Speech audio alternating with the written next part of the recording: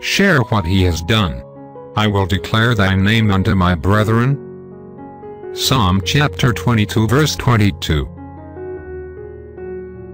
There are those near you in your own community who need the regenerating power of Christ.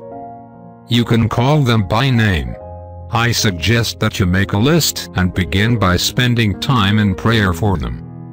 Ask God to show you how to witness to them and how to win them. Their lives can be transformed by the message you give them. You are to share this gospel you have received. If Christ has done anything for you, then share it. In so doing, you are showing mercy. As you have received the mercy of God by the forgiveness of sin and the promise of eternal life thus you are to show mercy.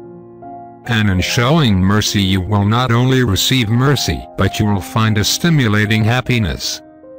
Prayer for the day. As I close my eyes in prayer, let me see the faces of those who need to know you, beloved Savior.